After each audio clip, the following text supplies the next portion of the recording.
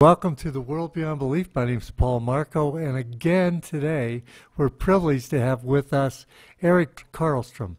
Now, Eric and I set this interview up because he had been doing some deep research into Allen Dulles. And a lot of people, including me, don't know to the extent to which Allen Dulles was involved in creating this problem that we're struggling with with the New World Order now. So I'm going to welcome Eric to uh, the World Beyond Belief and uh, have him uh, just get started on his uh, on what he's found. Hi, Eric. Welcome to World Beyond Belief. Yeah. Good morning, Paul. It's great to be talking to you again across our uh, continents here. You in Right. Ecuador and me in Colorado. Right. And uh, yeah, the subject of Allen Dulles is. Uh, I, I've been working on this article about him. Uh, oh, you know, off and on for a number of months. And uh, Allen Dulles, of course, was the first head of the CIA between under Eisenhower between 1953 and 1961. So he was uh, America's spy master during the beginning of the Cold War, and uh, you know his brother John Foster Dulles at the same time was Secretary of State. So the two of them probably exercised a lot more power. Well, there's undoubted, no doubt, that they exercised a lot more power than President Eisenhower, who was, uh, like most of our presidents, a puppet. Um, now, the reason that I've found this subject so important is that I have begun to realize through my reading and my research that the CIA runs our country. Yeah. and has has run our country uh, ever since it was formed back in 1947. That means all of our lives, Paul. Uh, pretty much, uh, uh, we have had a system that is run by intelligence agencies on behalf of, of course, Wall Street, the City of London, the the uh, international bankers, um, the the global power structure. Now, we, you and I have done some very interesting interviews, and we've featured uh, the Tavistock Institute out of Britain. Well, of course, it was MI6, Britain's MI6, that that created our OSS, Office of Strategic Services, uh, eh, right near the tail end of World War II, which morphed into the CIA. So the the uh, Anglo-American alliance uh, has been uh, operating on many levels for well over a century. Um, now, before we get into it, uh, let me just mention for the benefit of our listeners that I have an article on my uh, 911NWO.com website, which is now quite extensive. And the article is called Alan Dulles, America's Greatest Spy Master and Traitor. And then semicolon, Illuminati Agent Tour. Um, in this article, which I've recently posted on this website, and I would again invite your your your listeners to go to that article and uh, follow along, check it out. Uh, the research that I did for this article is kind of embarrassingly simple-minded. What I've done over the years is collect a lot of books and read them, and uh, what uh, and this is of course when one does this, one realizes that a lot of books are very much on the level, and the researchers are genuinely interested in uncovering the truth, which sometimes can be hazardous to your health. Right. Um, I can talk about the ones that have been, I think, offed. Uh, and, and then there's a whole, you know, probably more books, which are what we might call limited hangouts that the CIA itself would have, would have sponsored uh, or other uh, financial interests uh, to confuse, to poison the well, as it were. So we're always dealing with this, this difficult, challenging mix of information and disinformation. And that's how intelligence agencies maintain their power and control. Now, uh, just for kind of interest's sake, there's an interesting movie uh, called The Good Shepherd, uh, which I watched just a couple nights ago. Matt Damon plays a character very much like Allen Dulles, and it's very loosely uh, uh, patterned on his early life.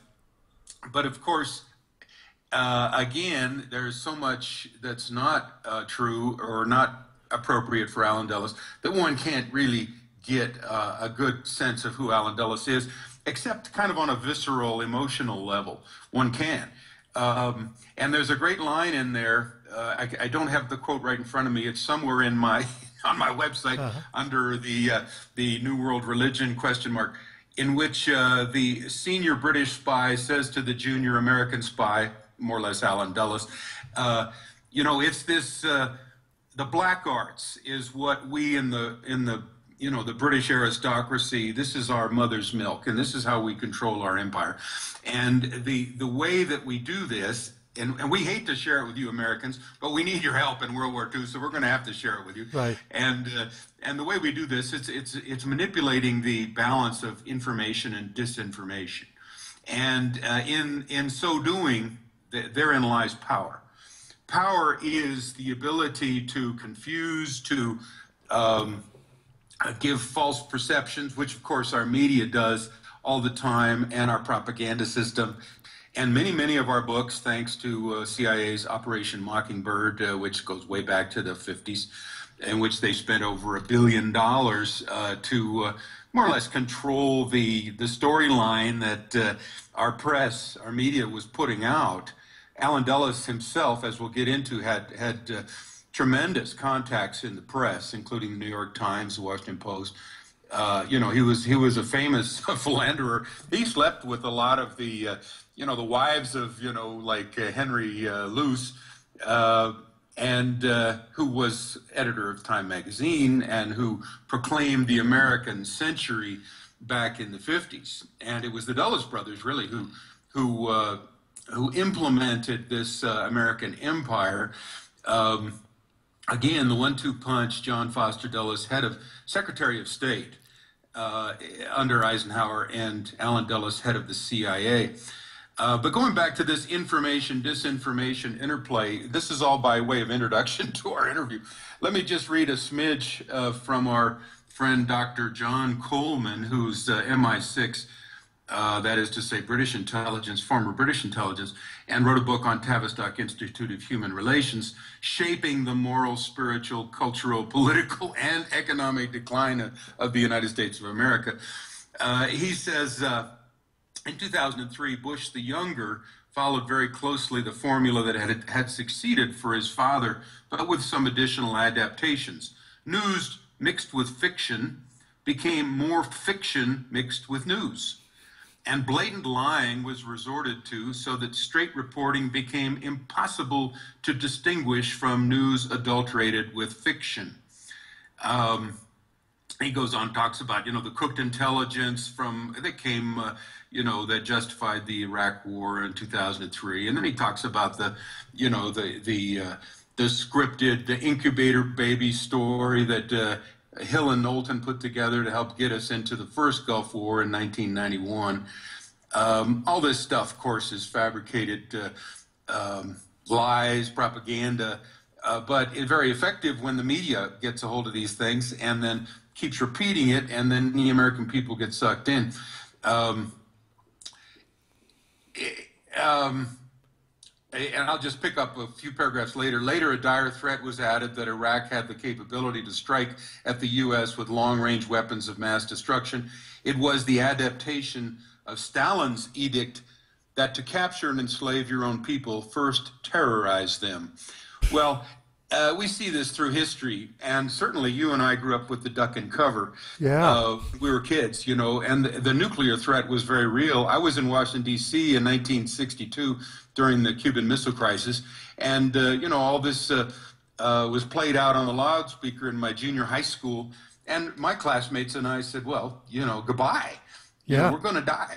Yeah. And, uh, this this was very kind of uh, you know pivotal and traumatic. And then of course the next year the Kennedy assassination, which as we'll see, Allen Dulles was probably the you know the, the chairman of the board of the of the Kennedy assassination, even though he had been fired by Kennedy in 1961 for the failed Bay of Pigs invasion into Cuba. Um, uh. In fact, I think the way it played out, and many will agree, is that uh, Allen Dulles kept kept his post even though he'd been fired and was still manipulating the CIA. And a couple years later, he fired John F. Kennedy in return. uh, because Kennedy had made so many powerful enemies, and Dulles was always kind of a team player. So we'll get into that too. Yeah. But uh, uh, all this is by way of introduction, Paul. I'm sorry to be so wordy, but going No, back to my don't. article, which I which I really would like people to consult, because there's no way to understand this stuff unless one reads widely. And uh, let me just pick up a couple. I've got all of this article comes from about 45 books that are on my shelf. And uh, I have figured out, I think, uh, I hope, uh, the difference between the truth and propaganda when it comes to the story, main storyline of the 20th century. And of course, leading up to the present. And uh, I believe I've uh, judiciously chosen quotes from about 40, 45 books uh, that Cool. in this article, direct quotes from these other authors who are researchers. I'm just the compiler here. Uh-huh. I'm, I'm a retired guy, 66. I was a physical geographer. I don't want to go out and do original research. I, I'm, you know, I, it's not what I'm into. But I am interested in the truth. Right. And uh, the, what I find is that each of these good books will contain nuggets of truth, but that you have to assemble them from a lot of different sources to get the big picture. So that's what I've tried to do here. And I feel like coming to grips with, say, Allen Dulles' life story is a is a very excellent way of understanding the power structure and how America has been co-opted uh, to become the American empire. Um, and uh, of course, to fight all these foreign wars of aggression, to topple all these uh, nationalistic leaders that, after World War II, tried to share the resources of their country with their own people, such as Jacobo Arbenz, uh, which was uh, he was removed from office uh, by a CIA coup in 1954. Um, he was just a, a nationalist reformer uh, who wanted to give a little bit of land to the poverty-stricken Guatemalans. I've been to Guatemala five times, and I have an affinity for those people. I like them, but the American ruling class just was happy as a clam to take out Jacobo Right. Arbenz in a CIA orchestrated coup, put in Armas, who was a uh, American puppet, who initiated death squads, and uh, uh, you know, uh, our, our Guatemala became a killing fields.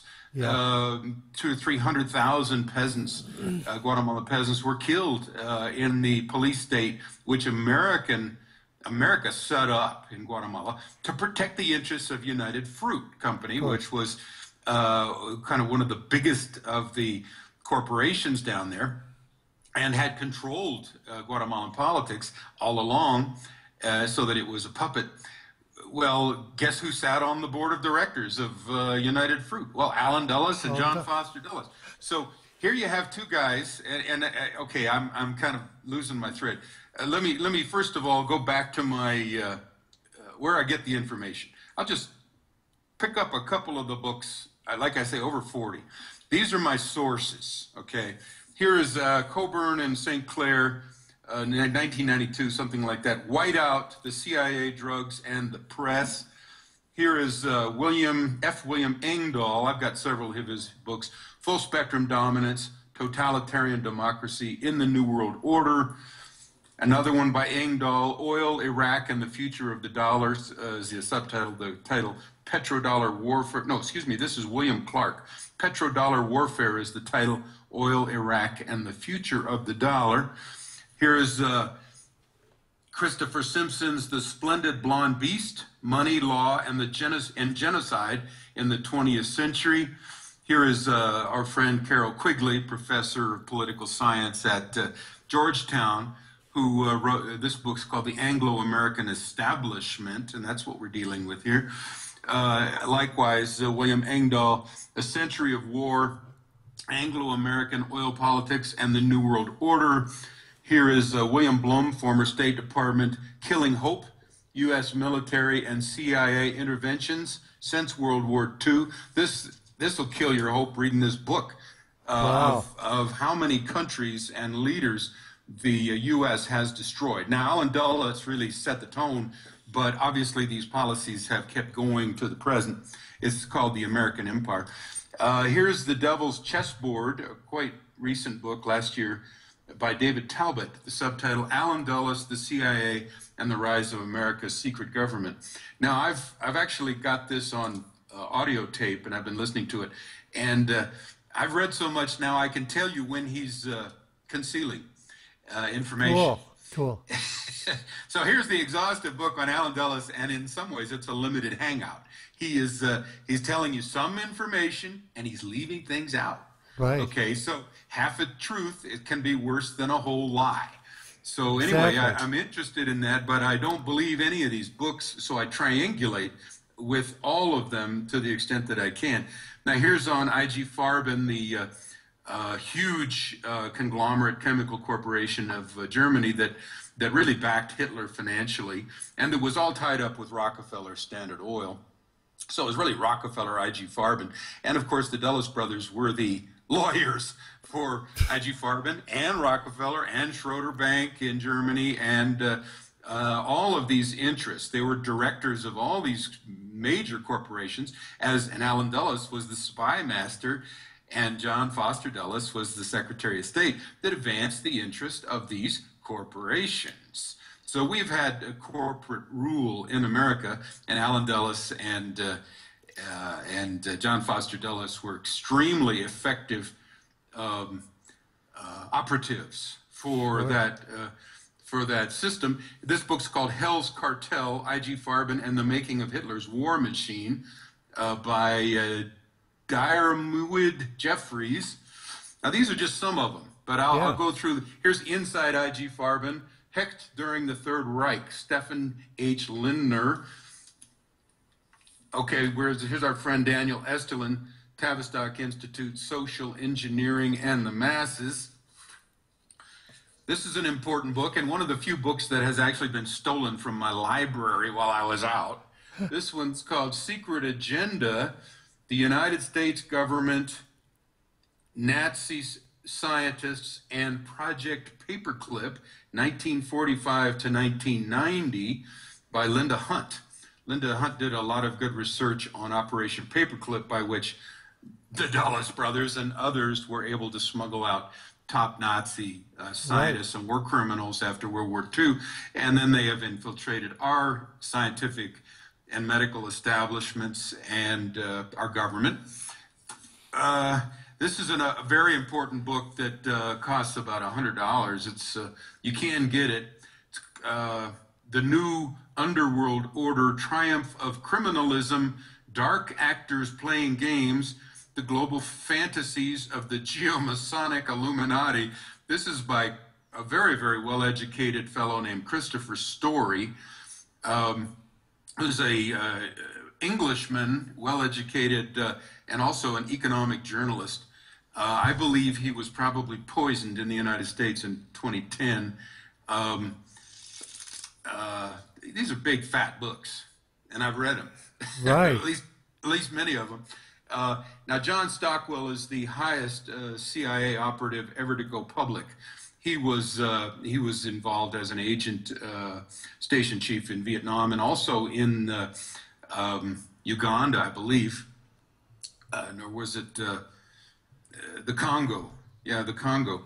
Um, of course, Patrice Lumumba was assassinated uh, by uh, the CIA under Allen Dulles, again trying to share his resources in this country with his people, as as the Belgian uh, Belgian uh, uh, colonialists were being kicked out after World War II. Well, the U.S. you know would would uh, make that. sure, yeah, that that that the colonial system was maintained in actual fact, an American hegemony, American empire, American interest, corporate interest would be Sure. represented. It was which required that these nationalistic uh, leaders like Patrice Lumumba be assassinated or otherwise removed. And uh, uh, John F. Kennedy didn't even know. See, this is how out of the loop presidents are. Right. Kennedy did not know that, that Allen Dulles and the CIA had assassinated Lumumba until two months or three months later. And this was just as soon as he got into power. So Allen Dulles was always uh, in charge under the Eisenhower administration. He even said, uh, Eisenhower has uh, surrendered his power to me. That's a direct quote from, From Allen, Allen Dulles. Dulles, wow. Okay, so anyway, John Stockwell has uh, done some good writing. He's he was a very very high uh, CIA guy, and he's come out uh, saying that the Third World War in the in the in the uh, Third World uh, after World War II has killed over six million people, and this this is uh, the wars, uh, the secret wars of the CIA, in effect.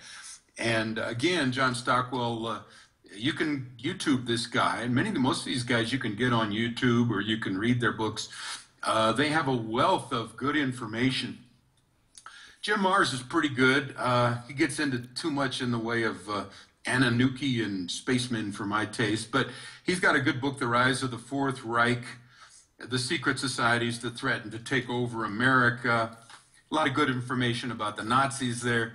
Uh, James Randall Noblitt and Pamela Sue Perskin, Cult and Ritual Abuse, The History, Anthropology, and Recent Discovery in Contemporary America. Uh, that becomes important because MK Ultra uh, and other mind control operations were really overseen and started by the CIA under Allen Dulles.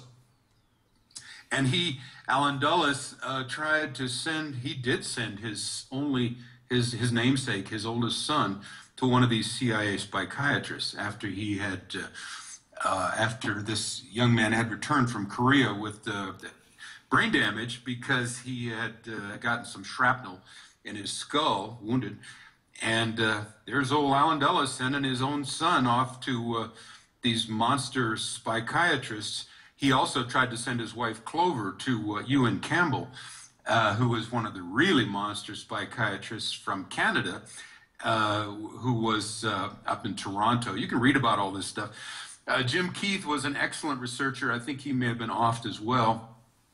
Here's one of his many good books, uh, Mind Control and UFOs, Casebook on Alternative 3, uh, packed with information, as, as is uh, Mind Control, World Control by Jim Keith.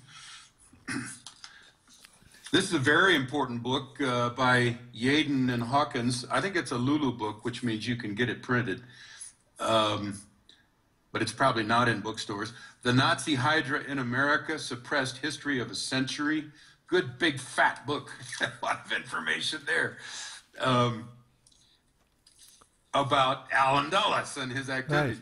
And here's Mark Zepezauer, the CIA's greatest hits. Is a very short book, easy to read, and very small um, representation of the CIA's. By the way, Stockwell um, and others referred to the uh, uh, church committee hearings in 1976 and 77, the Senate hearings, in which uh, it was revealed that the CIA at that time had conducted over uh, 10,000 uh, covert operations, every one of them illegal. And of course, of course 1977 to today is another 40 years almost. And uh, I'm sure they've done more than that.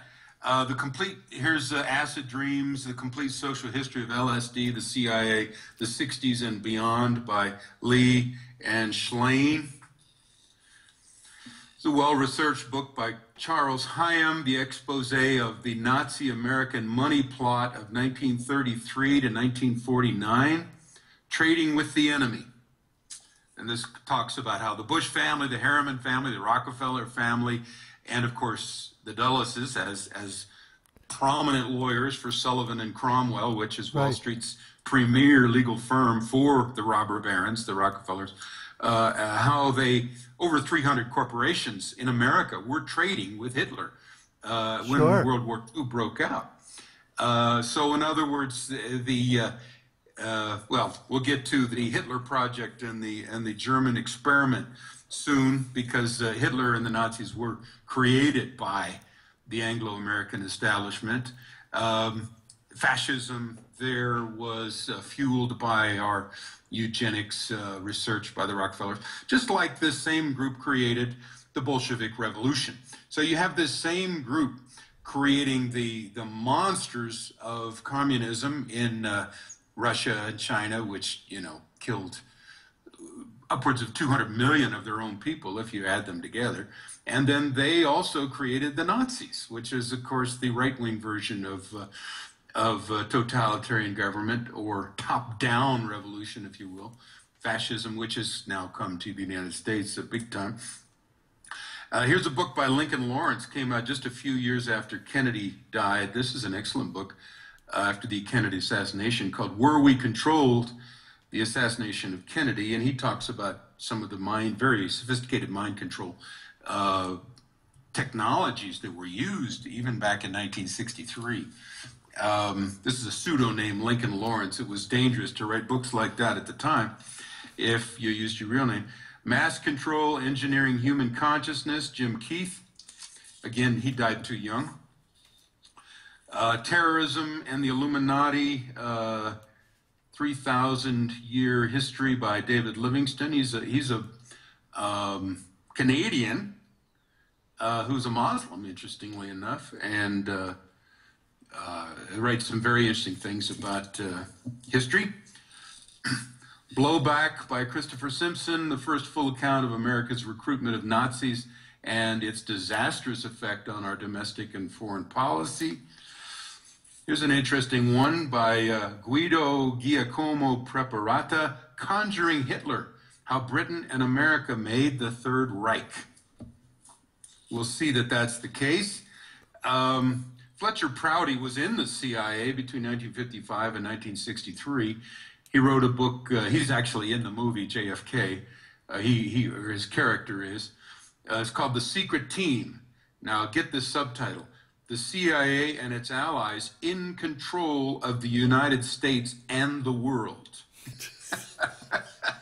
this is a guy who was in the CIA and knew Allen Dulles and knew these people. So that's what you call, you know, the real deal, I think. Uh, another one, Gangs of America, the rise of corporate power and the disabling of democracy. One more I'll throw up there is uh, Okay. uh, gang stalking and mind control, the destruction of society through community spying networks, AK Forward. If you want to know about gang stalking, you can print this sh- short book up from Lulu, $10.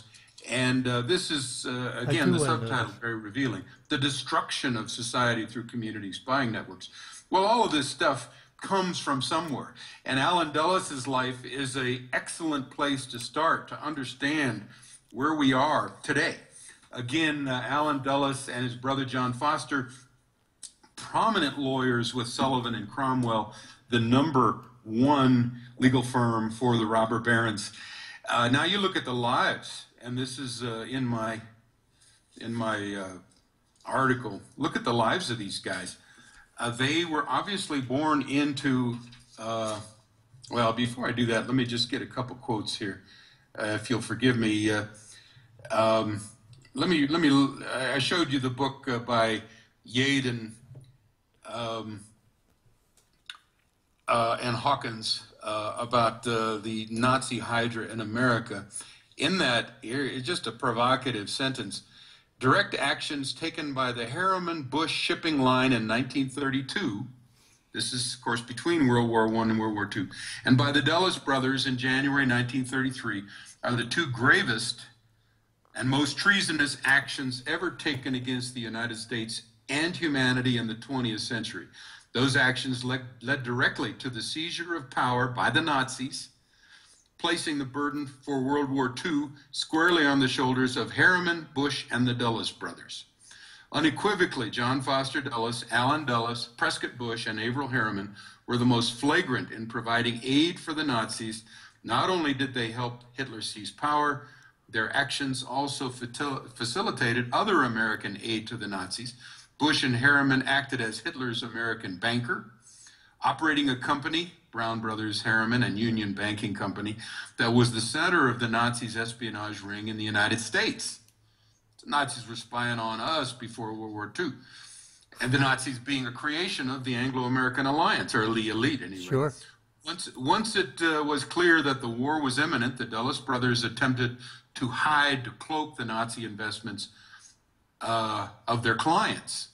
So 70% of the investments from Wall Street between World War I and World War II were in the Nazi German war machine in order to, to, to concoct World War II. Once it was clear that the war uh, was imminent, the Dulles brothers attempted to cloak Now these guys are financial wizards. They're they're they're hiding all these deals. Very mm-hmm. clever at that. And and of course, one guy then becomes Secretary of State, and one guy becomes head of the CIA. Then they can really make it stick. Uh, this is from Glenn Yeadon and John Hawkins, 2007, The Nazi Hydra in America, Suppressed History of a Century. Um, here's from James Jesus Angleton, the CIA chief of counterintelligence, who was the guy who was the liaison to the Vatican and who was the main liaison to the Mossad, the CIA trained Mossad. Uh, he said Allen Dulles, Richard Helms, Carmel Offie, and Frank Wisner were the grand masters if you were in a room with them, you were in a room full of people that you had to believe would deservedly end up in hell. I guess I will see them there soon. well, a little candor, uh, uh, but uh, um, here's uh, here's what Fletcher Prouty said, the the guy who worked in the CIA, wrote the Secret Team. The CIA and its allies in control of the United States and the world. The CIA's control of security within this country, even more than elsewhere, is nearly absolute.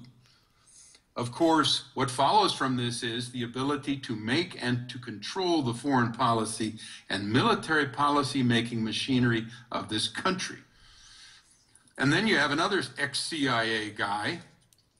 Uh, no, this is from Michael Collins Piper's book, Final Judgment The Missing Link in the JFK Assassination Conspiracy. Uh, I'm convinced that John Kennedy was assassinated largely by Allen Dulles, whom he, no, sorry, this is not by uh, Michael Collins Piper. This is by um, an ex CIA guy whose name will come to me in a second. Uh, he said this recently in an interview. I'm convinced that John Kennedy was assassinated largely by Allen Dulles, whom he cashiered, fired, as the head of the CIA after the Bay of Pigs, and a coterie of Joint Chiefs of Staff. FBI, and even some Secret Service folks. This is by retired CIA analyst Ray McGovern in 2013 on a radio interview, WBAI Law and Order. And then Michael Collins Piper, in his final judgment book, said uh, uh, uh, Israel's global network had the power to orchestrate not only the assassination of Kennedy, but also the subsequent cover up. Israel was indeed a key player in the JFK assassination conspiracy, and the evidence suggests the primary instigator of the crime. So, uh, oh, and then another great quote treason doth never prosper. What's the reason? Why? If it prosper, none dare call it treason. that's a good. Well, that's good way to that's look good. It. That's by Sir John Harington, Epigrams, Book Four, Epigram Five. Um, so this guy, Allen Dulles, uh, he and his brother were born to a very, uh, you know, is not a rich family, but very well connected family. His uncle, I think two of his, his uncle and father in law were Secretary of States. Um, and uh, if uh, the first part of this thing, I talk about the family history here. Uh, so they're, they're connected to the, the global elite with their, uh, their cousins and in laws with the Rockefellers. Uh, they're intermarried with these uh, spy master families from Switzerland. Uh, and they were nephews of the Secretary of State, Robert Lansing. Um, the, one of their relatives supposedly brought Scottish rite of Freemasonry to the United States. And they were strong supporters of eugenics and mind control movements and programs all along. So uh, they were they were tapped very relatively young age uh, to be actual co founders of the Council on Foreign Relations right after World War II. So there they are with Colonel Edward Mandell House, who was the Rothschild agent, who was controlling, like a puppet master, President Woodrow Wilson, uh, and getting right. us into World War One, right. and getting us the Federal Reserve Act of 1913. In other words, he was a one worlder. Yeah. Uh, Edward Mandell House is one of these Illuminati agent tour that uh, has enormous uh, impact on, on history. He's not elected ever, he's an advisor. Yeah. And he seems to have some kind of mental uh, hold. Now, this is where maybe the spiritual end, end comes in. He seems to have a mental hold over President Woodrow Wilson. And uh, he actually had an office in, in the White House. And again, Illuminati uh, Rothschild agent from the South. Uh, and uh, he was also at that meeting in which the Council on Foreign Relations was formed. Now, the Council on Foreign Relations formed in 1921 as an American adjunct of the British um, Royal Institute for International Affairs, Right. which came out of the Cecil Rhodes uh, Roundtable Group, the Milner Group, the One Worlder Group that wanted to, again, implement one world uh, government under British control. And uh, so, uh, again, it's fairly small cabal of individuals who have Right. enormous power through their network, uh, their secret societies, and their financial clout. Um, and uh, so there were the Dulles brothers, young, taking up the mantle of Colonel Edward House, who was retiring at that time, I guess, from being on the world stage as an agent tour. Uh, and then uh, the young Dulles brothers, both lawyers, uh, and the older at this time associated with Sullivan and Cromwell, they're at the Paris Peace Conference. And they helped craft the Versailles Treaty, which had terms of reparation that were so harsh on Germany that it more or less guaranteed World War II. Right. So these guys were setting up World War II even as World War I closed. Right. And uh, there's a banker out of London, City of London, named Tiarks, who actually used the term the German experiment. And Yeah. there are others who talk about the Hitler Project. So the Hitler Project, the German experiment, the creation of this fascist occult, it's a death cult, really, Right. because it's it's got the OTO in it. It's got the Right. Helen Blavatsky Theosophy. It's got uh, the Vril Society. It's got the Thule Society. All these satanic uh, influences Satanic. are integrated into Hitler and his top team. And uh, of course, the Dulles brothers, uh, again, law, uh, were lawyers, but Allen Dulles in particular, even between the wars, he was in the State Department and he was stationed in Bern, Switzerland, where he had developed all these contacts and networks with Germans.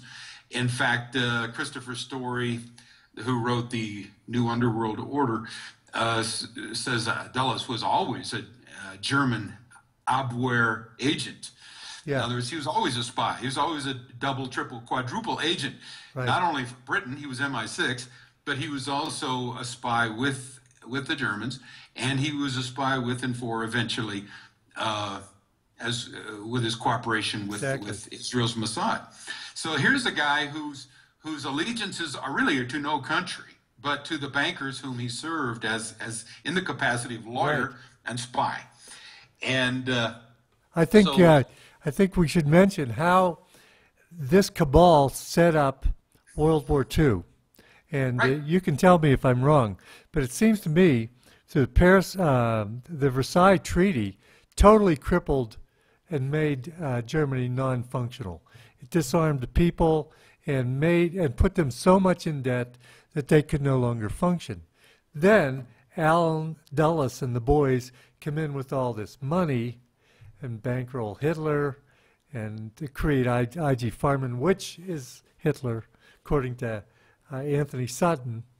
So it's like they created the chaos, then they then they created the order for for the other. You know, you have to have two sides in a war, so you have to you have to have, Exactly. make sure they have guns and stuff.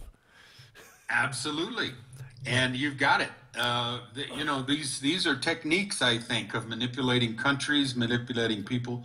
Um, obviously, this has happened in Britain. You know, this was a pretty Christian country. The Magna Carta comes from from Britain. From Britain, yeah. Uh, you know, in the in 11th century, I believe.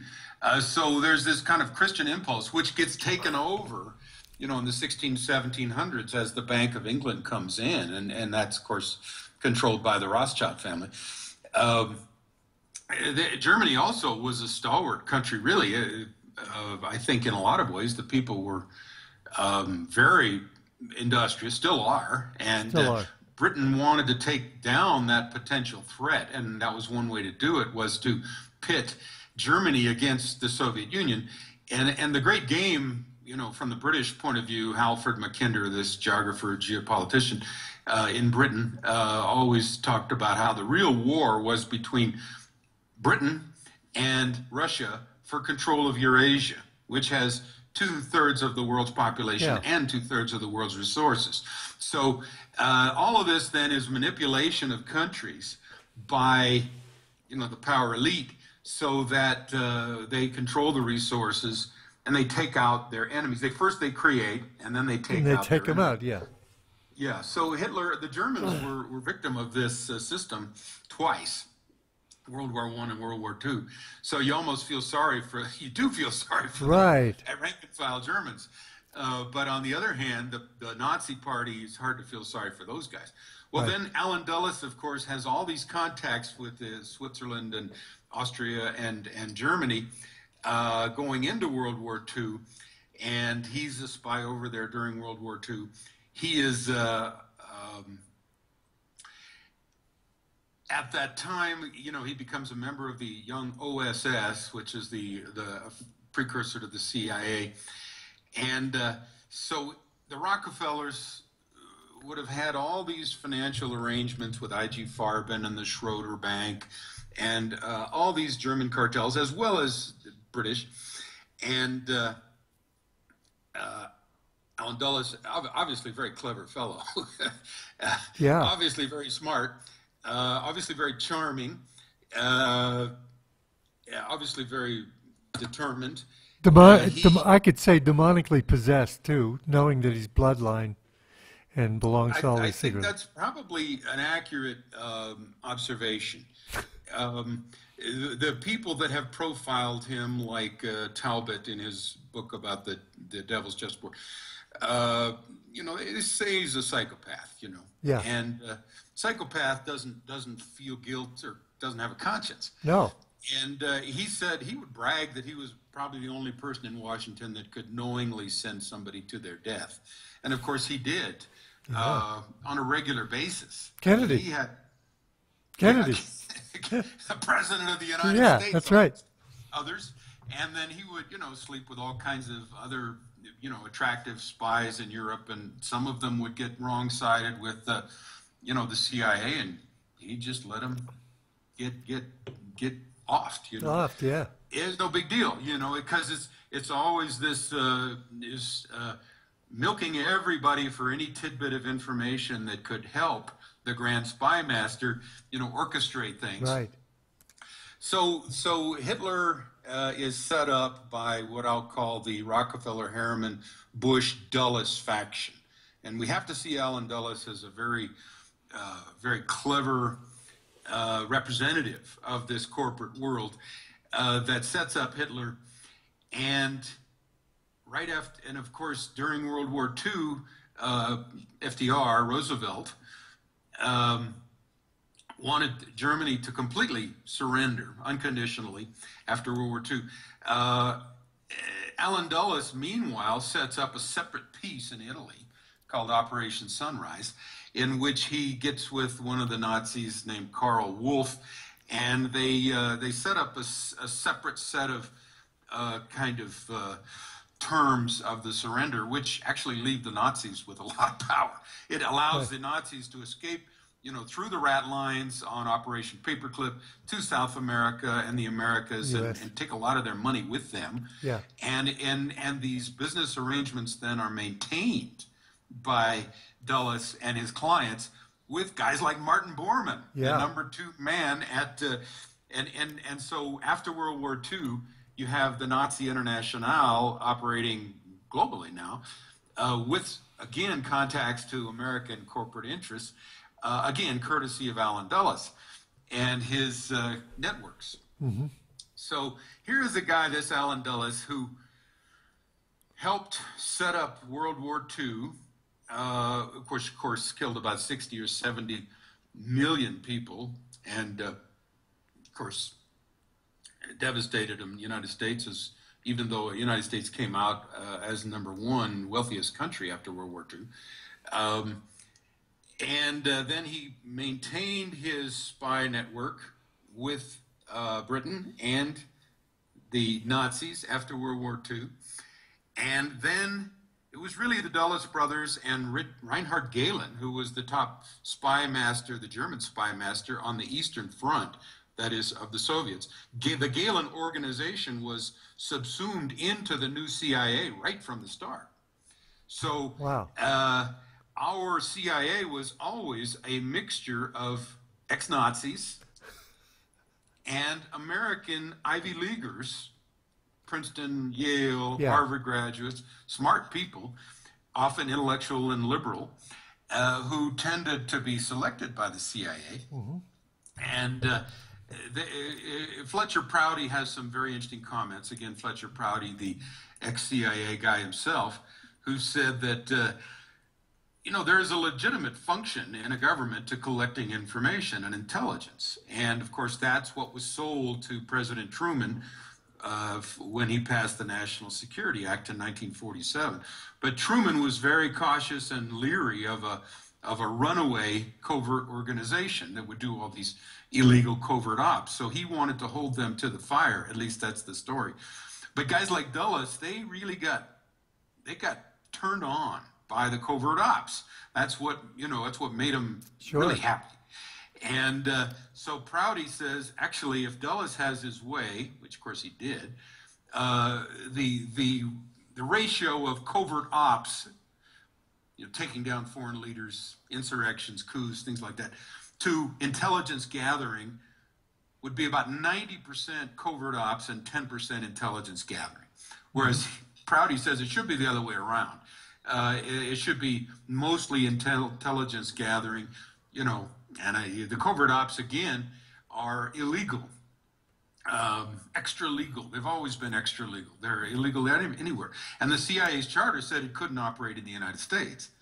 Well, it's been operating in the United States yeah. ever since it was formed right. illegally. Right. And uh, our our generation was spied on in Operation Chaos in uh, you know during the 60s because they yeah. wanted to see kind of a playback thing how their how their operations like uh, Laurel Canyon, all the hippie counterculture, right. how that was disempowering the anti-Vietnam War protests. Well, to go to go back to the Vietnam War, which was so pivotal and devastating um, in our generation, in my generation, it was a CIA operation from the beginning, uh, starting in about 1952 uh, with Ed, Edward Lansdale going over there. Obviously, the French were being kicked out by the Vietnamese, and it was a colonial situation. The United States, again, wanted to move in to be the new uh, master of the third world country and its resources. Uh, they again used the anti-communism excuse. Oh, you know, and of course, uh, uh, Ho Chi Minh was always writing letters to our president, quoting, you know, our Declaration of Independence and our Constitution, saying, "Hey, we want to do that here. Will right. you be our friends? You know, right. we want you to be our friend." And uh, he had been educated in France you know, he, he knew something about Marxism, but basically he just wanted to be a nationalist and share the resources of his country with his people, like Mossadegh did right. in Iran and like Arbenz did in Guatemala. You go down the list of all these countries that were destabilized and destroyed and kept in their poverty to be, uh, you know, a resource for the American empire. Yeah. And uh, anyway, going back to Vietnam, it wasn't until 1964 that the U.S. Army and other military forces uh, actually uh, sent people over there. Between 52 and 64, it was always a secret covert operation by the CIA, and mm-hmm. part of that included taking over the drug trade, which, of course, the French had uh, the French Connection, Marseille, right. and then that was over towards uh, you know, the Golden Triangle and the heroin and the opium out of Laos. So the American establishment uh, and the British establishment were the same ones, the British East India Company, that, that got a foothold in China through the Opium Wars by getting a country to to be uh, addicted to drugs, and then they could come in and steal the resources. Well, they, they applied that same technique to our country in the 60s. Right. After, after the CIA had done all these experiments on LSD and found out that it was a uh, psychosis producing weapon of war, Right. and they tested all of these drugs, and CIA they, they really kind of liked that. Richard Helms was the guy who took took the lead on that, as well as Sidney Gottlieb of the Technical Services Division. Uh, these are the MK Ultra guys, um, the mind control guys. These are the real dark, dark psychopaths.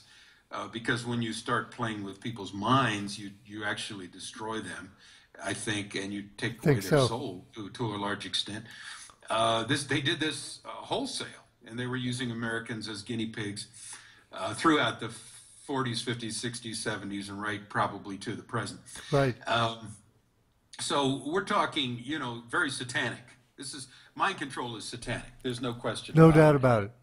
And the CIA took the, uh, the experiments that the Nazis were doing uh, under Joseph Mengele and other eugenicists and mind control monsters. Um, and the CIA kept them going under MK Ultra, often bringing the same German psychopath doctors Yeah. into this country. The same guys, uh, Joseph Mengele, were programming American youth.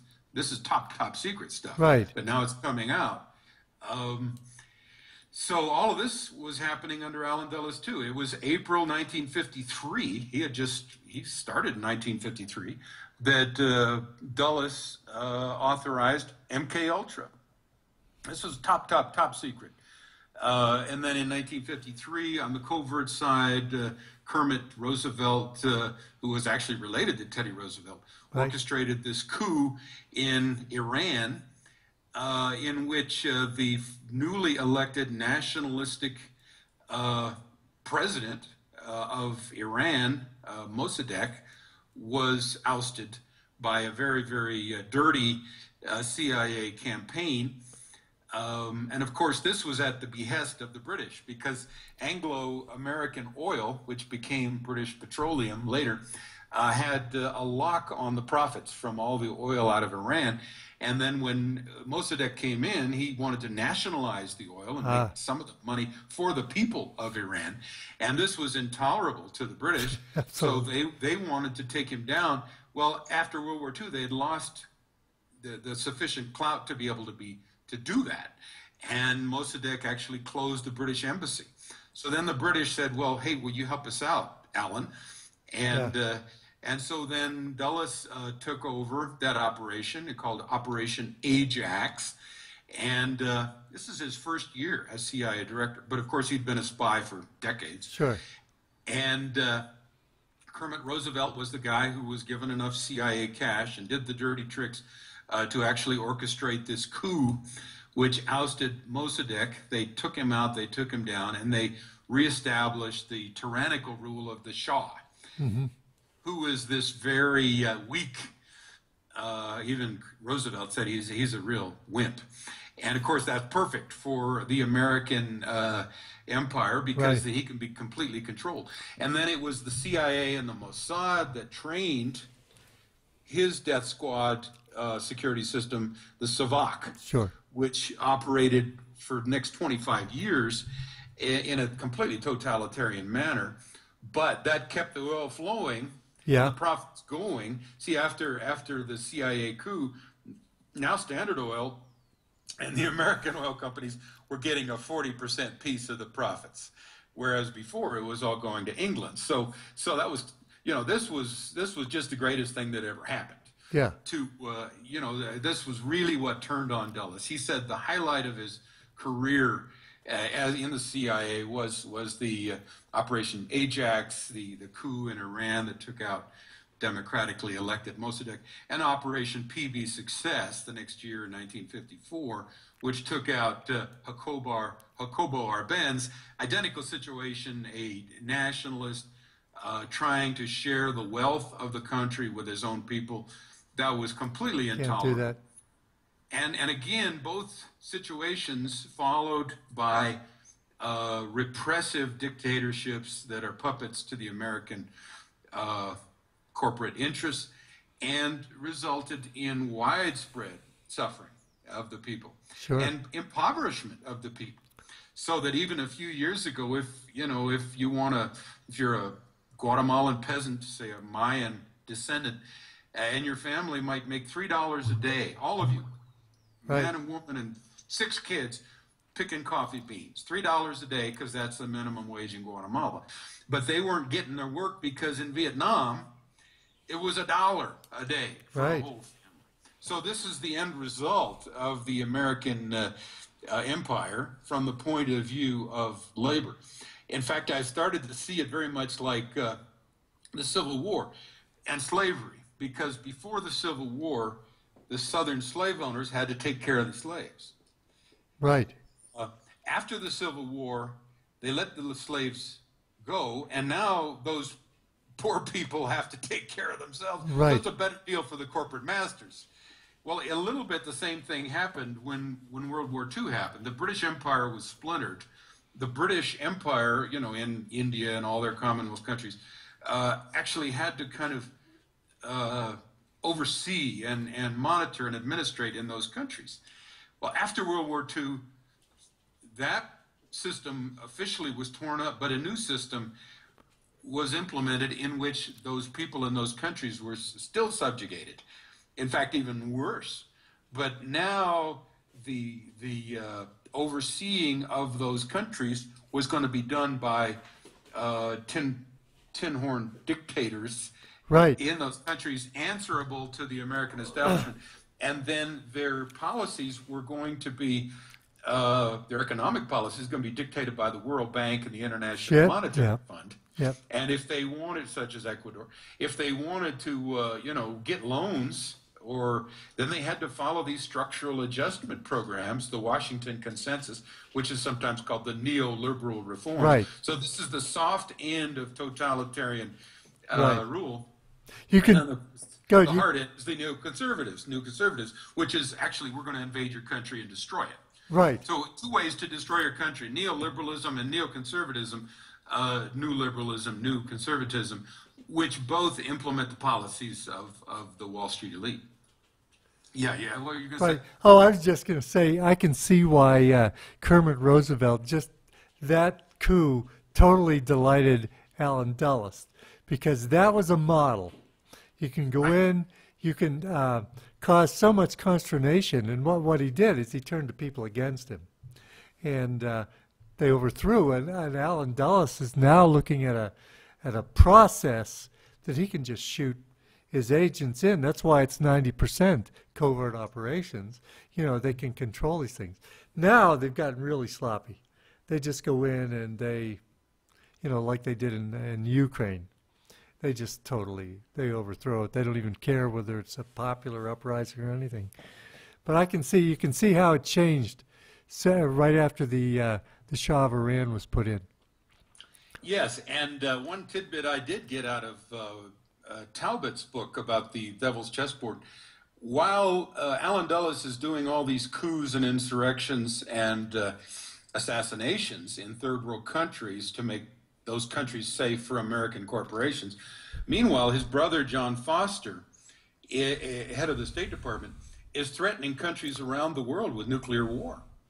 We've got the bomb and you don't. And Right. you play with us or so again this is terrorism two ways uh, we're, we're imposing terror on the world with our technological superiority and dulles and eisenhower you know they talked about uh, using the nuclear bomb uh, fairly regularly and lyman lemnitzer the guy who wanted to who was head of chiefs of staff um, uh, during the Bay of Pigs and the Cuban Missile Crisis, these guys were wanting to to go for a nuclear conflict with Russia. They were pushing for it, and Kennedy, of course, pushed back and said, Right. "No, I'm not going to do that." Um, eh, and uh, so this thread of you know this warmongering. Now, now the, look at it from the corporate side.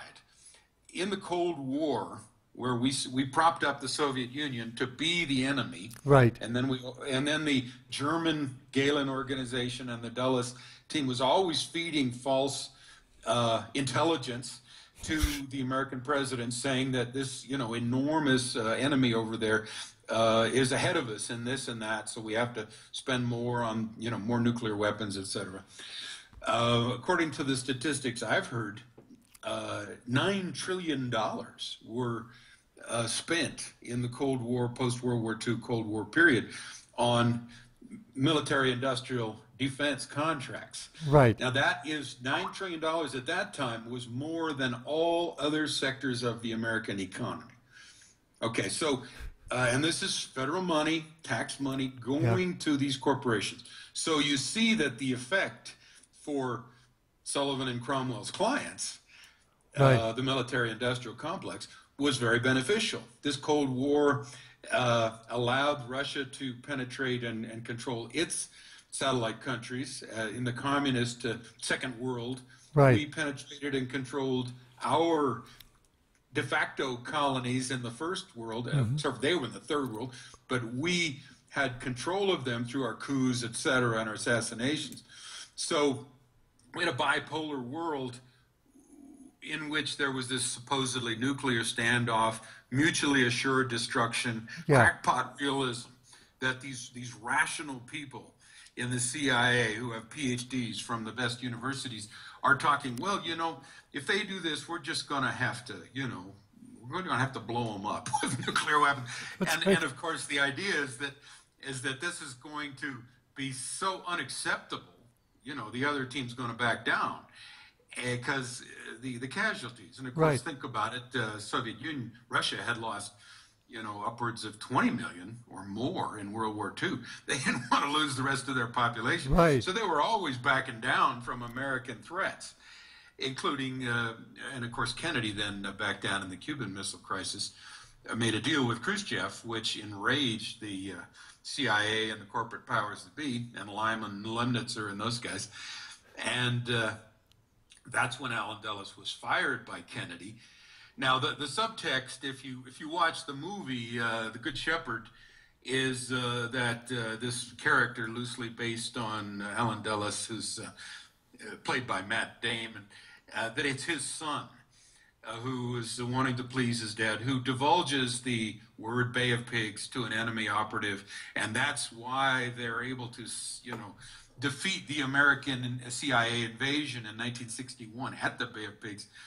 Well, that of course is fantasy. That's fiction. Uh, the the story that comes out from reading all these books, to me anyway, is that the CIA put their third team in charge of this invasion so that it would fail, and then Kennedy would have to come in with American firepower. In other words, the whole military Right. to protect this this operation. In other words, to lure him into a war with Cuba so that the rich mafioso, uh, Meyer Lansky and whatnot, would be able to take back their little island where they could Right. have, you know, all their whorehouses and and uh, and strip joints and and uh, casinos in Havana again, you know.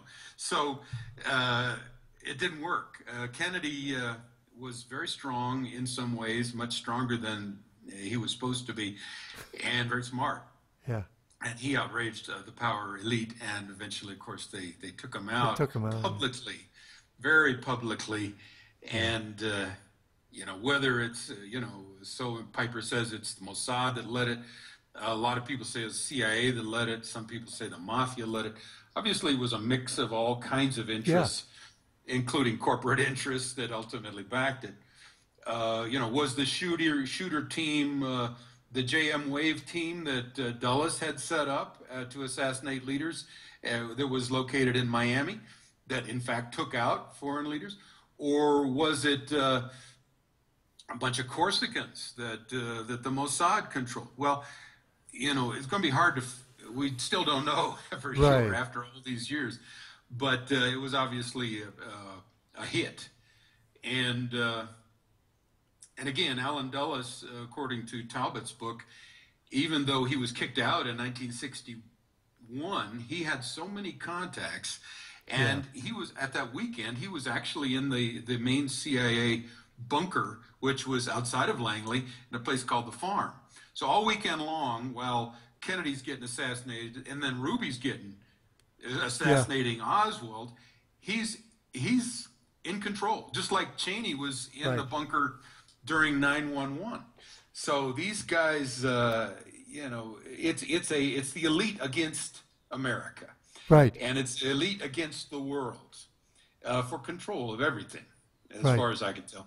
And Allen Dulles is uh, just the uh, most fascinating character. He died in 1969.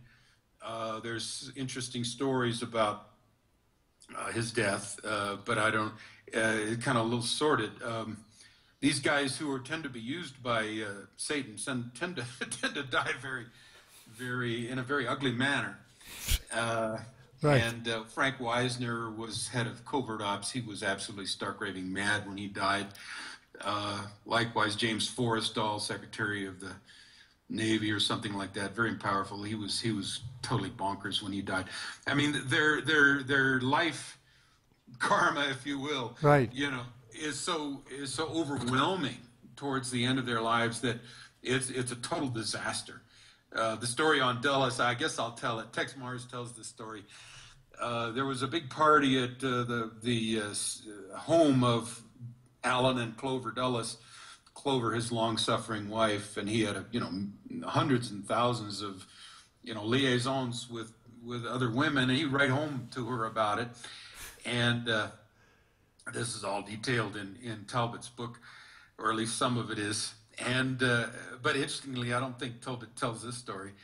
Uh, again, limited hangout, but. Uh, uh, he was failing. He was upstairs in bed. Uh, Clover has a big party with all the Illumi- you know, the Illuminati, the Right. glitterati, the uh, the power players in 1969 in the D.C. area in Georgetown, and uh, Clover is in a very upbeat mood. Looks really, you know, well dressed and you know, wonderful hostess. And people keep Allen asking about Allen. Oh, he's got the flu. He's upstairs. Don't worry, you know, he'll be all right. Well, some of Allen's friends go upstairs to say hello, and they see that he's rolling around in his own, you know, pee and feces. Yeah. Um, mumbling, you know, he's losing his mind. Uh, his wife is so disgusted with him, she won't even, you know, change the bedclothes. Right. And uh, then one of his uh, employees, uh, who actually must have liked him, said, "Okay, this is this is not good. We're going to bring him to the hospital." Right. So they they they you know they wrapped him up in a bunch of bed clothing, brought him to the hospital, where he died a few months later. But uh, you know, I mean, can you imagine uh, the humiliation that he must have put her through? Um, Oh yeah. and- yeah. And well, yeah, you uh, to to imagine the type of society that they live in, the type of parties that they have, the type of associates. I mean, it would be a real stretch for any of us normal people to even put the. I mean, uh, eyes wide shut is the thing that I always think of when I think of the elite parties, because you know they're they're they're uh, ritual sessions too. You know, it's not just not just fun and games and sex, which is I guess a lot of it is. But if I could comment on that, uh, Paul. Yeah, I'd like I it. think I think there's an intermediate level. I think that the eyes wide shut thing is really yes for the elite, and that's the that's the real dark secret side. I think there is a kind of a public side that has to do with these parties, in which you don't see that. You don't see the masks. You don't see the rituals. But there is an awful lot of uh, you know hobnobbing and charming. Supposing supposedly Allen Dulles was very you know engaging and charming. Um, and uh, yes, it, it would be hard for us to imagine it, but actually not so hard for me because I grew up in the Washington, D.C. area. And uh, I, uh, you know, there's some connections in my life to, to this world. Um, I won't go into it, but uh, it's a very sophisticated, um, um, actually fun. You know, people are, you know, witty, gay, having fun and uh, you know great parties and and uh, so I think Allen Dulles was uh, you know it, this comes across very well in the movie The Good Shepherd where they where they show these gatherings of the skull and bones. You know I mean the bushes are from skull and bones. Yeah. and yes these are satanic societies but they have their parties uh, and it's it's all very sweet uh, or apparently sweet. You know they get the minister up there you know praying for the interests of the people involved. And and it's there is a level of in at which these guys are the good guys, and uh, they're doing good in the world.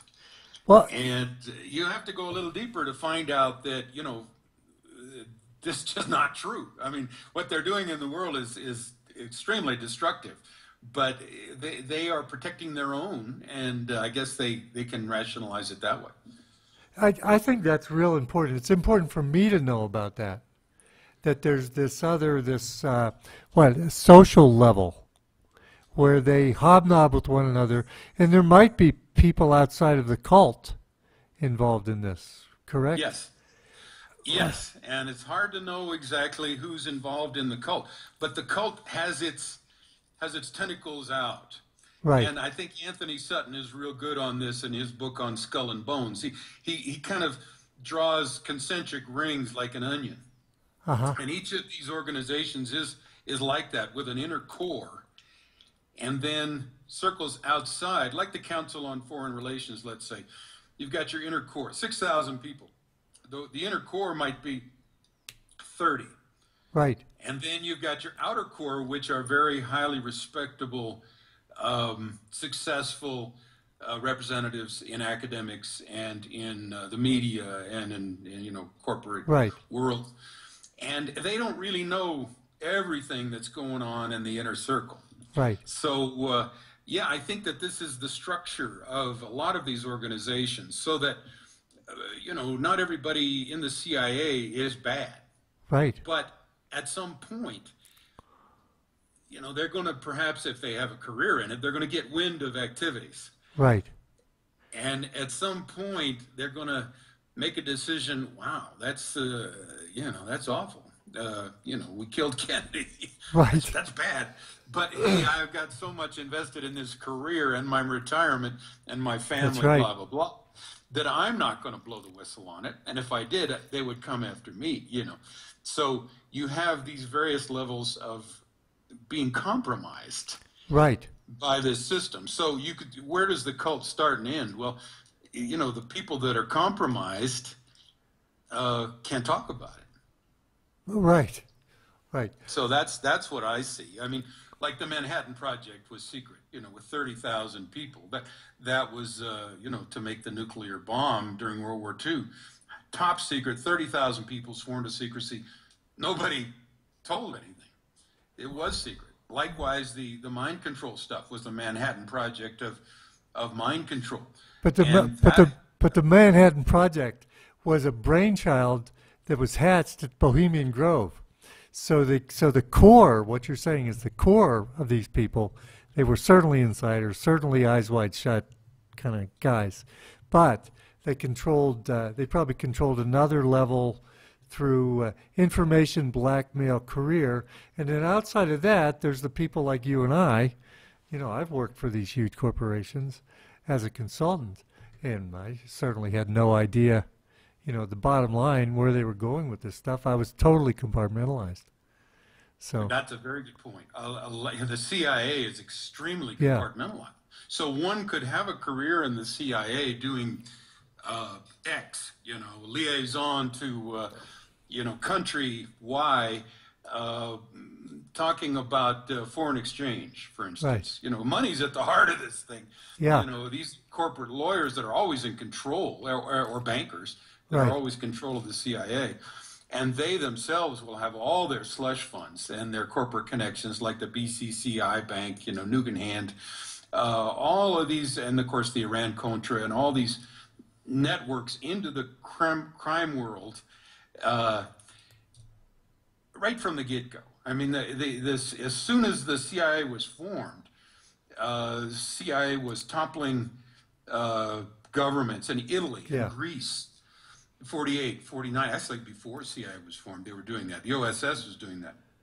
And uh, uh, the Operation Gladio, which was a CIA thing, the P2 Lodge out of Italy, the, the you know the uh, Licio Gelli and, and all these, you know all these connections with the Vatican. I mean, the, the, the connections run so deep across the power spectrum, and yet you have to try to find out where the core is. And I think that the great thing about this particular you know line of inquiry into the life of Allen Dulles is you can see where the core is, or at least you can see where some of the most powerful operatives are. Uh, you know, if if you've traced it to the Rockefeller, Harriman, Bush, Dulles faction, which we do uh, in this in this article, well, there might be a deeper level, but not a whole lot deeper. Rothschild for sure. I mean, over Right. in, over in. Uh, but is it does it go deeper than that? Uh, well, maybe powers and principalities. You know, Right. the Illuminati families, the Duponts, uh, Yeah. the the uh, the Krupps in Germany. Um, this may be the core of it. You know. I remember reading about the Committee of 300, and then there are certain people in the Committee of 300, like maybe maybe Kissinger, maybe uh, H.W. Bush, and they called themselves, get this, they're grown-up adults. They call themselves the Olympians. Right. So they, they, I think, were in charge of the Committee of 300. Now, who goes back behind those people? There certainly is another level, but it's behind the curtain. Well, the black nobility for sure. Yeah. The the the, the House of Royals in Britain for sure. Um, and The Vatican. Rothschilds for sure. Vatican. What do you The think? Vatican is is the Vatican is totally, and they get back to this analogy of the of the concentric circles. I mean, the Vatican is can be very dark, but your average Catholic out here can be a very sweet person. Right. So, in a sense, they're they're they're kind of part of a cult network, and they don't even know it. You know. Right. um, and they support that cult network with their tithes or with their contributions, and they don't know it. That's right so right. I think maybe that's a good analogy for a way a lot of these systems work. Right. There's there's often a lot of us who are trying to uh, push back in the New World Order, say, well, there's so many of us and so few of them. Well, that depends on how you look at it. Uh, that they they control a whole. They they aren't a lot of people, but they control a lot of people. I think if that's Absolutely. Well, you know, again, going back to some of the interesting quotes, um, let me give you one on that topic. Uh, this is in my, I always have some frontist quotes in my articles. And this one happens to be by Lieutenant Colonel Roberts uh, before a joint committee of the Wisconsin State Legislature. He said, The most secret knowledge, a science which outdates history, is the science of control over people, governments, and civilizations. Jeez. The foundation of this ultimate discipline is the control of wealth. Who controls wealth? The Rothschilds. right. Uh, through the control of wealth comes the control of public information and the necessities of life. Through the control of news media comes thought control. Through the control of basic necessities comes direct control of the people. A significant portion of the American public is yet to become aware of the invisible, invisible government of monetary power. Wow. Who who did that? Wh- What quote? is- Lieutenant, Lieutenant Colonel Roberts uh, in front of the Wisconsin State Legislature. Um, Wow. You know, so the, the the truth, you know, like Pete Seeger said, the truth is like grass. You know, it keeps coming up through the cracks in the sidewalk. Right. and uh, the truth is out there, you know. And I love that quote by Thomas Jefferson. You know, error requires the full support of government to support it. The truth stands by itself.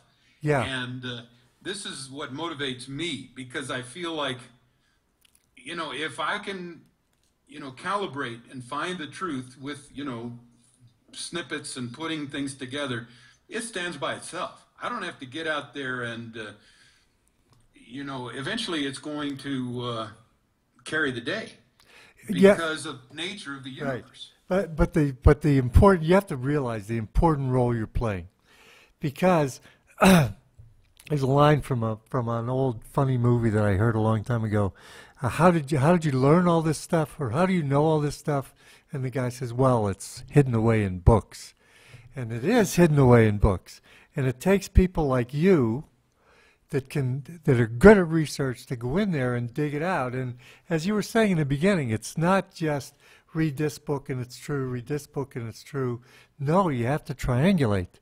You have to know who's bullshitting you on this issue, who's who's a, who's making a limited hangout here, and uh, so it's really important that uh, what you're doing. And uh, I'm looking forward to reading your article. Well, thank you, uh, Paul. Uh, you know, I have to I have to interject here uh, on this subject. You know, Allen Dulles was immediately appointed by Lyndon Johnson to the Warren Commission right after the Kennedy assassination. Of course. So here's the guy who was probably the CEO of the assassination, Right. who was now the CEO of the Warren Commission.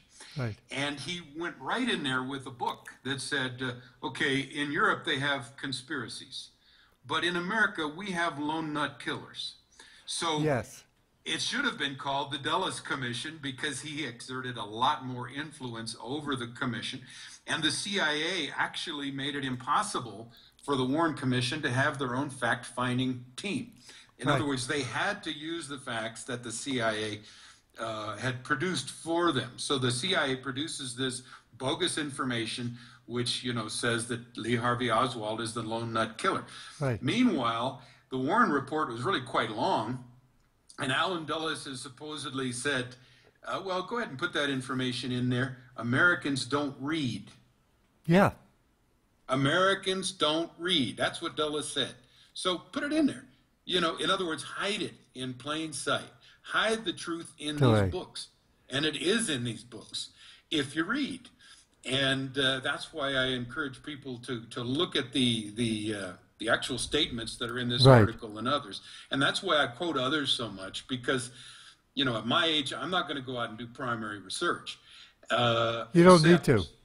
You don't yeah, need to. Yeah.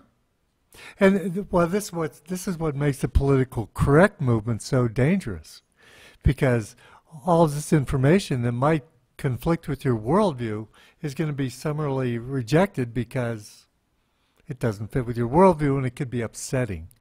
So Thought we, police. the thought police, yeah, we're patrolling ourselves. But I think it's really good. It, it's interesting to note that the CIA is a full service agency. They create the bad guys, they kill the bad guys, and then they give you a report on what they did. So, you know, go back Yeah, to sleep. system is com- go back to sleep. Yeah. Yeah. Well, I'm really happy to hear your comments now more. I, I think I've kind of basically handed over the, the, the headlines of, of, uh, of what's in here in, in this article. I think it fits very well with, uh, say, 911 Right. um, because uh, again, uh, uh, it helps us to understand that, uh, say, you know, 911 is a CIA operation, CIA, Right. Mossad, MI6, whatever, some mixture thereof. Global warming, the fraud is uh, disinformation. That all of these things are cover stories that conceal a real story. Right. So this is the way the CIA has always operated in and amongst itself, especially in their covert operations. The the, the spy is going to have a cover, and he's going to have a cover story. Well, as the spy agency takes over the entire country, as Right. it has, then we are dealing with a world of cover stories and covers and lies. So, uh, just like I quoted uh, Coleman, Dr. John Coleman, it, it used to be a mixture of fact and fiction, and now we've moved more towards just fiction, Yeah. just lies. Yeah. And and it's like the old analogy uh, when I was a kid, you know, that so and so is a weakling. He can't punch his way out of a paper bag. Well, finding the truth is like punching your way Right. out of a wet paper bag, you know. It is. And uh, it's like we got this wet paper bag on us, which is a bunch of lies. And uh, how do you get out of that so that you can see what's outside the wet paper bag? Right. It's a it's a process, and it's an interesting process. I I'm a psychologist, so I think in processes. Uh, some people have decided that they're tired of being tricked and fooled and bamboozled, and they want to know. Something motivated you in your upbringing to investigate Dulles. I've got to know this this guy has been doing powerful things close to me all my life. I want to know. So, so you have the wherewithal and the brains to get in there and actually ferret it out and pull this guy out and identify him for what he is. And I think that's really that's really important. And that process is what we need. The process. And I call it the awakening because people just get you know, I think we started coming out of it in 2006, but what supercharged us was uh, uh, McGovern's work, my McGowan's work. Right. My God, we we are nothing's been organic about our lives. Hey, I do have a question. While you were going over, you were talking about the uh, the puppeted uh, Cold War that happened most of our lives. We were involved in the Cold War and those bad Russians and have to keep up with them and all that crap. It seems like they were start, starting to do that again with this threat with Russia and Syria. And then they must have decided that they didn't need the Cold War strategy anymore, so they told Russia to back off. What was your what, what what's your estimation on on what was going on there? Well, you know, Paul, you probably have a better sense than I. I. I'm so plugged into my research and my books, Right. and I'm so well aware that TV is a central part of the propaganda system that I don't watch TV at all. We don't either. And I don't watch many movies. So, in terms of current events, I I let things go by sometimes. I hear about them. I get uh, kind of the interpretation of uh, certain people, which resonates or not. Uh, I listen to Texe Marrs a lot on Power Yeah. Prophecy, and I really like him until he brought on uh, Edward Hendrie recently, this uh, guy in the State Department who's written some really good books. Um, who now is advocating the flat Earth theory uh, and mixing it up with, uh, you know, Israel did it. Well, that's again, that's that's you know mixing truth Yeah, and lies. yeah, you know? right. I mean, it's like, in fact, somebody just sent me that book about this flat Earth coming around. Well, I mean, you know, the Catholic Church. Uh, fought that battle with Copernicus back in the 1600s and they lost. Right. I mean, we obviously, uh, science has proven a long time ago that we have, you know, Earth's not the center of the universe, uh, like you might believe from the Bible. And, uh, Right. and to go back now and have a flat Earth, I mean, that just, that's called poisoning the well. You, you put this outrageous bit of disinformation in with some truth, Right. and everything gets thrown out, you know. And now everything that Edward Henry has written, and I've quoted him extensively in some of his books, uh, everything is suspect because now he's he's championing this ridiculous idea that the Earth is flat. Yeah. So uh, it's it's a kind of a eh, this is the game of the intelligence agencies to mix truth with lies, and then it becomes again our job to to to punch our way out of the paper bag. Texe Marrs would have said. Uh, that Russia was coming in on the side of Syria, trying to, you know, threatening to take out ISIS, uh, which was destroying Syria. And uh, the ISIS is a creation of the CIA and the Mossad. Yeah. And that Syria was an enemy of Israel and the CIA because uh, um, it, it actually threatened to harbor people who were antagonistic to the uh, goals of Israel in the Middle East, which is to create a greater Israel from, you know, the Tigris to the Nile, and that's in the flag of Uh-huh. the of the, the Rothschild flag for the state of Israel, is to take over the Middle East, and the United States is Israel's puppet now, uh, to the extent that the tail is wagging the dog Right. Exactly. and we're the policemen for Israel, and we've invaded what seven countries since 911. So this then becomes the real uh, story Right. behind 911. The real story behind 911. We're given the cover, you know, Yeah. that, The, that it was Osama bin Laden, and in, uh, right. that it was the Arabs. Well, in fact. Uh, that's not true. And the real story is that it's justification or pretext to prosecute all these wars in the Middle East, like the Iraq War, where we've killed two or three or even four million people out of 22 million people. That's genocide. And the Afghanistan War, which is now longer than the Vietnam War. I think we've been at war since 2001 in Afghanistan, so that's 15 years with no real progress except control of Afghanistan and its resources. Yeah. And uh, and it's again, it's the great game. Who's going to control Eurasia and and the uh, and the resources? Two thirds of the world's Exactly. people, two thirds of the world's resources in Asia. Um, and for some reason, you know, all our military bases are encircling Russia and China now. Gee, why is that? Well, again, control of Eurasia. Yeah. And all of this is like right out of the great game. So again, it's the Anglo-American alliance now with Israel very much involved and Rothschilds created Israel uh, and designed the flag even. Um, so uh, this is, if you want, this is the axis of evil. It's Washington, Yeah. uh, London, and Tel Aviv. Right. Uh, it's, it's not, you know, Iran, Iraq, and North Korea. I mean, these are the countries that didn't have a Rothschild central bank. Right. Right. I, I, of course, now Iraq does, you know. Right. I think I think your comment is uh, is is really uh, telling in a couple ways.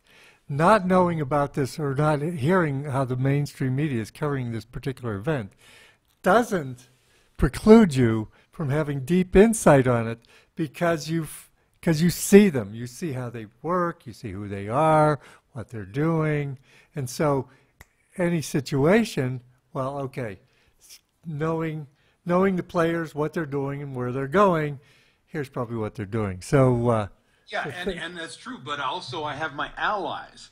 Texe Marrs has a weekly Power Prophecy program. He was Uh-huh. 22 year Air Force officer. Uh, he has written 47 books. Uh, and and I get his take on it. And his his interesting worldview is based on geopolitics, which he's Uh-huh. always been interested in since a kid, and uh, and biblical prophecy. So you put biblical prophecy with geopolitics. That's his. Yeah. That's his starting point. And uh, well, I don't know that much about biblical prophecy. I'm I'm you know kind of actually more interested in geopolitics. Yeah. But I get both from Texe. So I have some good allies. That's So good. rather than you know wade through the the disinformation in so much of the TV and and, and uh, even so many of the newspapers. Uh, nowadays, I will find my allies Right. and I'll get the insights from them. I think that's I think that's important. I think we all should be doing that.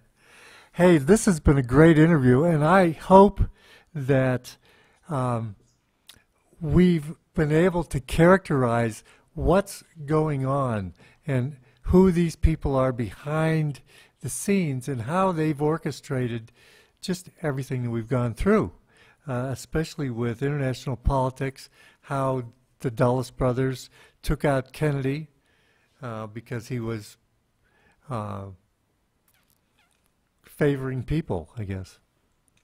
He knew I think too he, much. Kennedy, you know, he was a patriot. Uh, towards the end, nine days before his assassination, he says there is a plot Yeah. to uh, to destroy America being fomented in the White House that I have to tell the American people. about. Yeah, There's so many statements that he made. He was he was condemning the secret societies. He ha- he had made moves to pull the CIA out of Vietnam. He wanted to break the CIA into a thousand pieces and said so. He wanted to, in fact, he did reissue the Lincoln Greenbacks, which was Right. uh, coined not by the Federal Reserve, this private bank owned by the European Bank Consortium headed by Rothschild, but actually have money printed by Congress, which the Constitution calls for. Uh, he had reinstituted, he had gotten his master's at the London School of Economics. This this man knew uh, economics. Right. He was a very smart individual. And of course, he was also played by uh, the intelligence agencies, you know, with his trysts with, you know, Marilyn Right. Monroe and whatnot. These were manipulated for him by them. But but anyway, Kennedy was, I think, uh, a little like Lincoln in the sense that, uh, you know, I mean, he he was was very concerned about the American people. And uh, I don't know so much about Lincoln. I guess McGowan has a whole series that questions everything about the Lincoln assassination. Uh-huh. But uh, Kennedy, to me, comes off as the last president who thought he could, do something. you know, run Right. the country. And uh, and of course, he was uh, he was offed by the powers that wouldn't accept that. That's right. And uh, there's a great Bill Hicks comedy s- uh, skit who uh, uh, he was big, I guess, in the 90s and 80s. He said, uh, "Okay, here's what happens when a president comes into the White House. Uh, Yeah, you know, they they take him up to the fourth floor and they show him the Zapruder film, and then they say, uh, "Any questions?" right. And, uh, and That's Clinton great. says, uh, "Only one. What's my agenda?" What's my agenda? That's exactly right. Well, So, in other words, we've had figureheads ever since Kennedy, and uh, it was a power struggle. Allen Dulles, you know, won. Right. Wall Street won. Uh, the City of London won. The Rothschilds won. and uh, this is this is uh, uh, the American people have been lied to, manipulated, brainwashed into becoming the sharp edge of the American empire. Right. I don't think anybody in this country ever voted to say, let's conquer the world so that we can be the empire and kill all these other people. Right. Uh, but we, this is what happened. Um, You know, starting with the invasion in the Philippines, uh, uh, right near the turn of the uh, 19th century, into the 20th century. Since then, it has been, you know, progressively the American empire, and then, you know, it gets captured by, again, the the Wall Street, uh, City of London, Rothschild, uh, British royal family, Tel Aviv axis, if you will, somewhere by night, well, really about the time of the Kennedy assassination. And uh, George H.W. Bush, total um, skull and bones, total uh, agent tour for the Illuminati.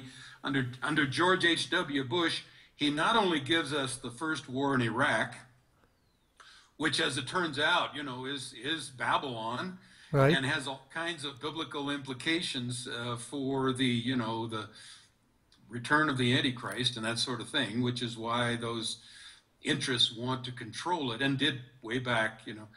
Uh, he also signed off on Agenda 21 uh, of the United Nations back in uh, 91, which would then bring us all into this new world order that. Uh, Right. So you have the soft and the hard uh, conquest of the world. The soft conquest, United Nations Agenda 21, brings us into one world government, one world religion under the United Nations. Then you have the hard conquest, which is all these invasions, just like the neoliberal and the neoconservative. Right. So these are different as- different ways to take down the world. Think of a pincer movement, you know. Yeah. And these guys are very smart, you know. And one can think, oh, gee, are they are they reptilians? Are they demons? I don't know, but they're very smart, and they have their they have their techniques. And uh, uh, this, you know, playing countries off against each other, you know, playing ideologies and economic systems off against each other, all Hegelian dialectic stuff Right. thesis, antithesis, synthesis to, to move nations in the direction of their one world government, one world religion, which is Luciferian. Um, they've been working at this for a long time. They have. And I, you, we've done enough studies so that we actually do see the spiritual components to this. Right.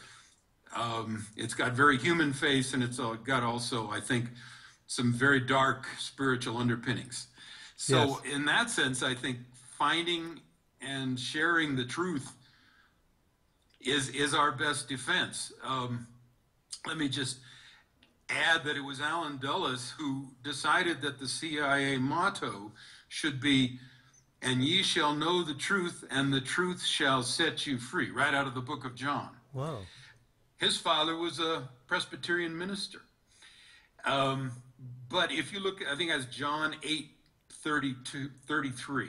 But if you look at John 8 32, you see that it's taken out of context. And what 8, John 8 32 says, you know, something about following Jesus and his commandments. And then, Yeah. and you shall know the truth, and the truth Shall shall, set set, you you free. free. So, in other words, he forgot Right. to mention. So there again, the you know half a truth is worse than a whole lie. So he took that biblical context, biblical phrase out of context. It's in Langley, inscribed in the stones, you know, to give Right. people the idea that what they're doing is holy, but what they're doing is actually not holy at all. Exactly. Exactly. Well, this has been very unholy. it is, and it still is. Hey, listen, we got to end it for today.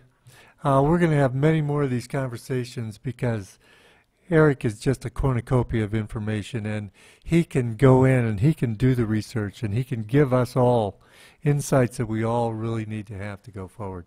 So, thank you very much, Eric, for coming Thank in Thank you, again. Paul. It's, it's, it's a pleasure, and thanks for letting me share this uh, this work.